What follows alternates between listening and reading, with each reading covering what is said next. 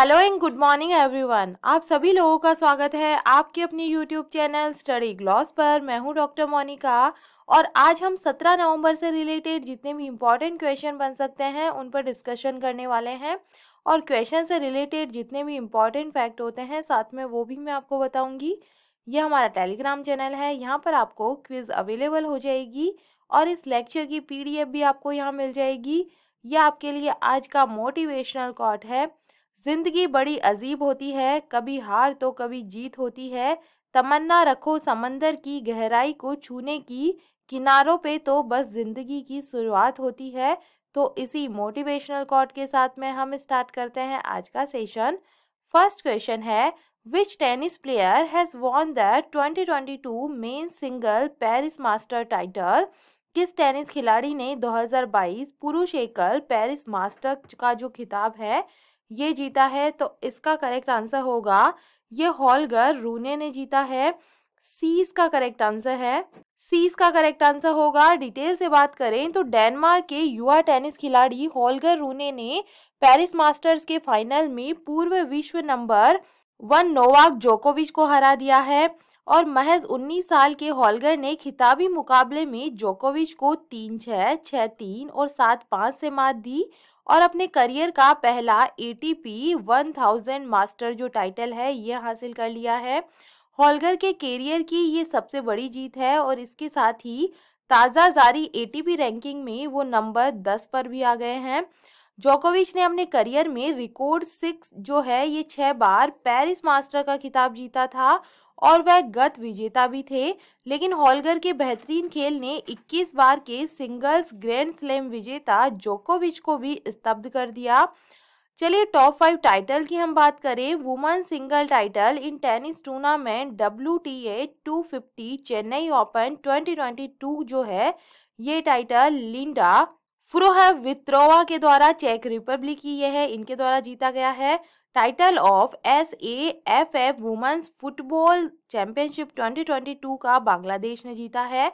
Football tournament Durand Cup 2022 title जो है, ये बेंगलुरु फुटबॉल क्लब के द्वारा जीता गया है।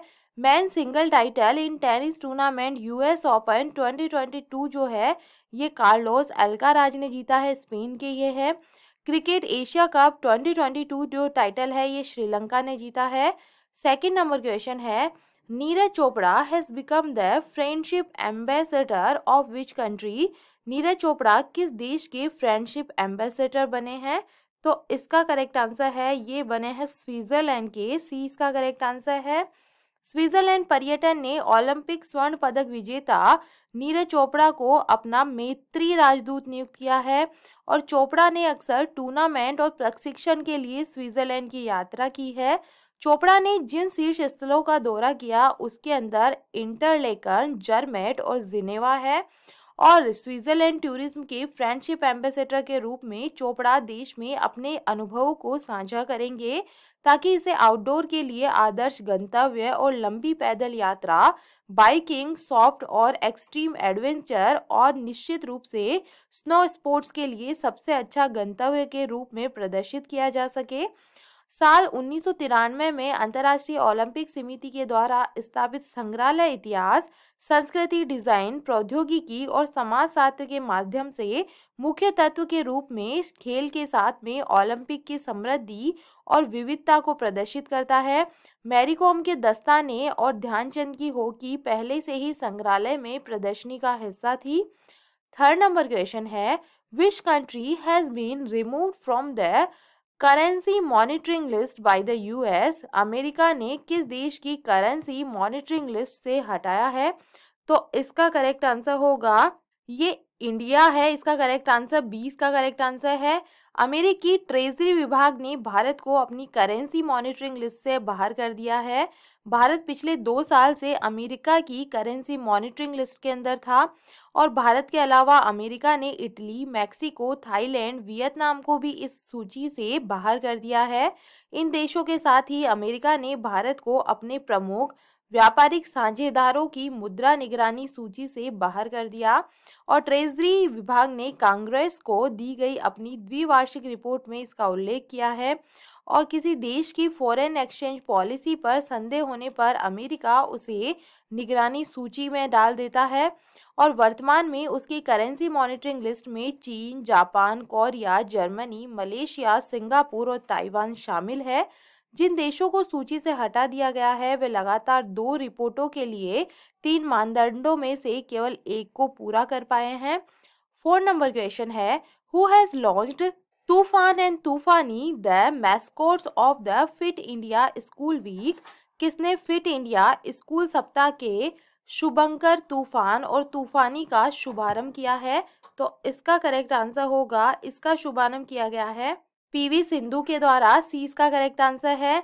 डबल ओलंपिक पदक विजेता पीवी सिंधु ने वर्ष 2022 के लिए फिट इंडिया मूवमेंट की फिट इंडिया स्कूल वीक पहल के लिए शुभंकर तूफ़ान और तूफानी लॉन्च किया है। फिट इंडिया स्कूल वीक का चौथा संस्करण 15 नवंबर 2022 को शुरू होगा, जिसमें एक महीने के लिए भारत भर के विभिन्न स्कूल चार से छह दिनों तक विभिन्न रूपों से फिटनेस और खेल का जश्न मनाएँगे। प्रधानमंत्री नरेंद्र मोदी ने 2019 में फिट इंडिया अभियान को लॉन्च किया था और इस पहल को युवा पीढ़ी के बीच और अधिक लोकप्रिय बनाने के लिए इस बार इस प्रमुख कार्यक्रम में तूफ़ान और तूफानी नाम के दो शुभंकरों को जोड़ा गया है, जिसमें दोनों भारत के सबसे योग्य सुपर हीरो और सुपर वुमन का जो है प्रतिनिधित्व करते हैं। फाइव नंबर क्वेश्चन है in which state R I L will develop India's first multi modal logistic park R I L किस राज्य में भारत का पहला मल्टी मॉडल लॉजिस्टिक पार्क विकसित करेगा? तो इसका करेक्ट आंसर होगा, ये तमिलनाडु के अंदर विकसित किया जाएगा। रिलायंस इंडस्ट्रीज़ लिमिटेड को तमिलनाडु में तिरुवल्लूर ज़िले के मापेडू में पहला मल्टी मॉडल लॉजिस्टिक पार्क विकसित करने का ठेका मिला है। एम एल मापेडू में M M L P Chennai को एक पॉइंट दो सात एकड़ ज़मीन पर विकसित किया जा रहा है। प्रधानमंत्री नरेंद्र मोदी ने 26 मई 2022 को इसका शिलान्यास किया है और इसका जो कार्य है, ये रिलायंस इंडस्ट्री लिमिटेड को आवंटित किया गया है। तमिलनाडु की हम बात करें तो the Tamil Nadu government constituted a panel for the protection of vultures Tamil Nadu state government notified India first slender loris sanctuary Pegatron has started manufacturing the iPhone in Chennai Tamil Nadu cabinet has approve to regulate online gambling six number question है with which country India has sign MoU in the field of culture wild life and health, Bharat ने किस देश के साथ में संस्कृति वन्य जीव स्वास्थ्य के क्षेत्र में एम ओ यू पर हस्ताक्षर किए हैं? तो इसका करेक्ट आंसर होगा, भारत और कंबोडिया के बीच में ये एम ओ यू हुआ है, बीस का करेक्ट आंसर है। भारत और कंबोडिया ने संस्कृति वन्य जीवन और स्वास्थ्य के क्षेत्र में चार समझौता ज्ञापनों पर हस्ताक्षर किए हैं और उपराष्ट्रपति जनदीप धनखड़ ने नोम पेन्हे में चल रहे आशियान शिखर सम्मेलन के मौके पर कंबोडिया के प्रधानमंत्री हुन सेन के साथ में द्विपक्षीय बैठक की और बैठक के दौरान मानव संसाधन डी माइनिंग और विकास परियोजना सहित द्विपक्षीय संबंधों की एक विस्तृत श्रृंखला पर चर्चा की गई। स्वास्थ्य और चिकित्सा के क्षेत्र में पहले समझौते पर भारत के स्वास्थ्य और परिवार कल्याण मंत्रालय और कंबोडिया के स्वास्थ्य मंत्रालय के बीच में हस्ताक्षर किए गए। कंबोडिया में बाघों के पुनर्वास के संबंध में भारत के पर्यावरण, वन और जलवायु परिवर्तन मंत्रालय और कंबोडिया के पर्यावरण मंत्रालय के बीच में एक समझौते पर हस्ताक्षर किए गए। सेवन नंबर क्वेश्चन है at what percent has Moody forecast India's economic growth for 2022 Moody's ने 2022 के लिए भारत की जो आर्थिक वृद्धि का अनुमान है, ये कितना प्रतिशत किया है? तो इसका करेक्ट आंसर होगा सेवन परसेंट किया है, ए इसका करेक्ट आंसर है। मूडीज ने 2022 के लिए भारत के आर्थिक विकास के अपने अनुमान को संशोधित करते हुए सात पॉइंट सात फ़ीसदी से घटाकर सात फ़ीसदी कर दिया है। इससे पहले मूडीज ने 2022 के लिए भारत की आर्थिक वृद्धि का अनुमान सितंबर से घटाकर सात पॉइंट सात परसेंट किया था। मूडीज ने मई में भारत के सकल घरेलू उत्पाद में इस साल 8.8 परसेंट की वृद्धि का अनुमान लगाया था और भारत की 2021 और 22 के वित्तीय वर्ष अप्रैल 2021 से मार्च 2022 में 8.7 परसेंट की दर से बढ़ा और पिछले महीने अंतर्राष्ट्रीय मुद्रा कोष ने 2022 में भारत के आर्थिक विकास के अपने अनुमानों को 7.4 परसेंट से घटाकर 6.8 परसेंट कर दिया। वर्ष 2023-24 के लिए वृहद वैश्विक परिदृश्य में मूडीज ने कहा है कि वर्ष 2022 के लिए भारत की वास्तविक जीडीपी वृद्धि 7.7 से घटकर 7 फ़ीसदी रह सकती है और उच्च मुद्रा स्फीति, उच्च ब्याज दर और वैश्विक वृद्धि धीमी पड़ने का आर्थिक गति पर होने वाला असर हमारे पहले के अनुमान से कहीं अधिक रहेगा।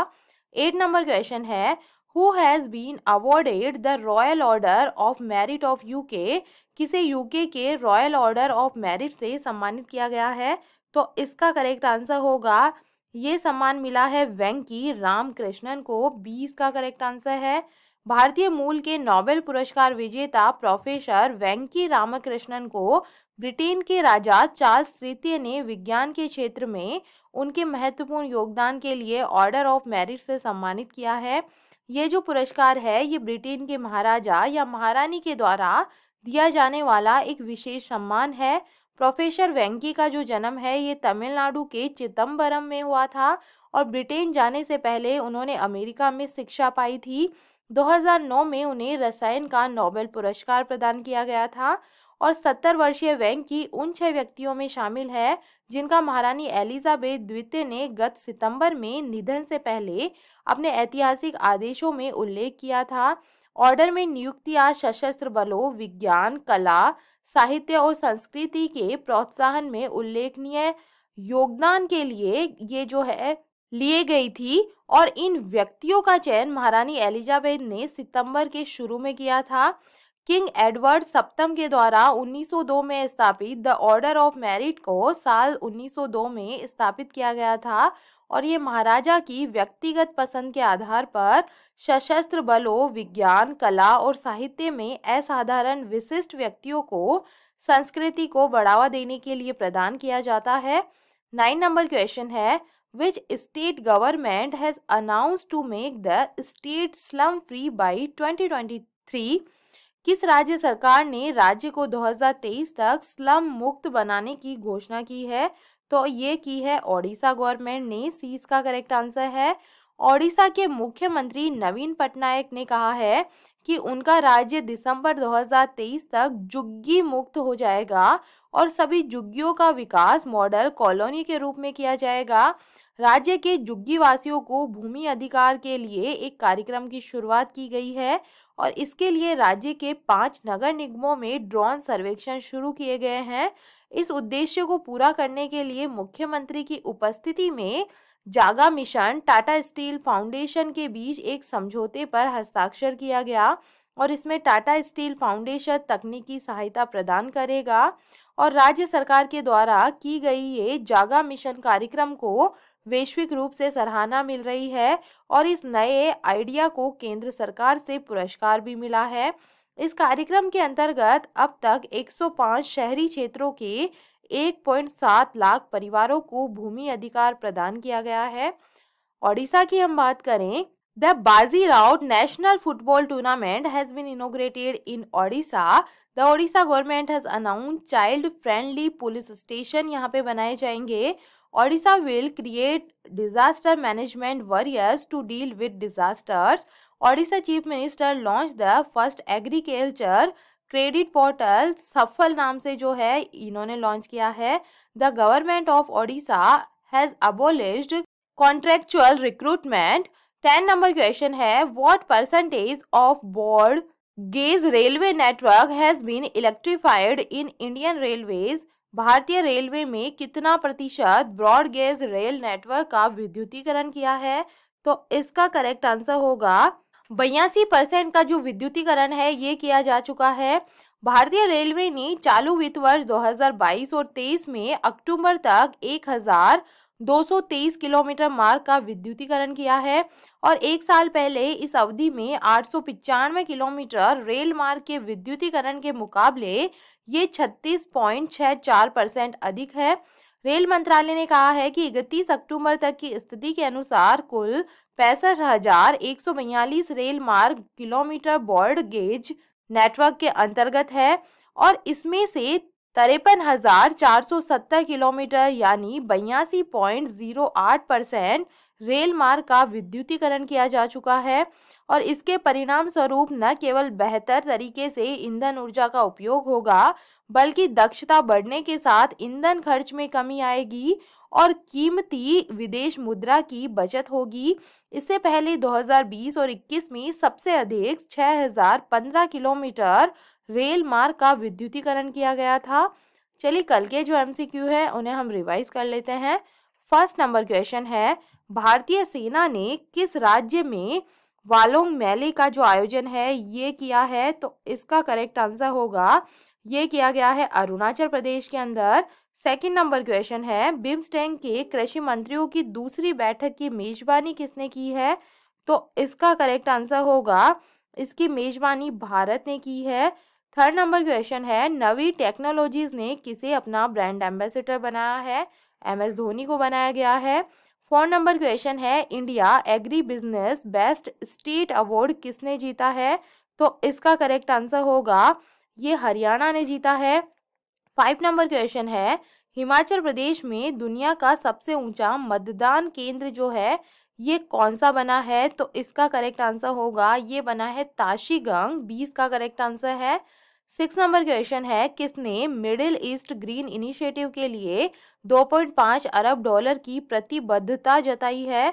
तो इसका करेक्ट आंसर होगा, ये सऊदी अरब ने जिताई है। सेवन नंबर क्वेश्चन है ईएसआईसी मातृत्व लाभ के लिए ऑनलाइन पोर्टल किसने लॉन्च किया है? तो ये लॉन्च किया गया है भूपेंद्र यादव के द्वारा, केंद्रीय श्रम मंत्री ये है।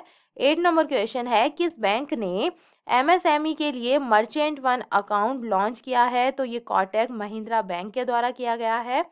नाइन नंबर क्वेश्चन है अरुणा मिलर किस अमेरिकी राज्य के उपराज्यपाल का पद संभालने वाली पहली भारतीय अमेरिकी बनी है?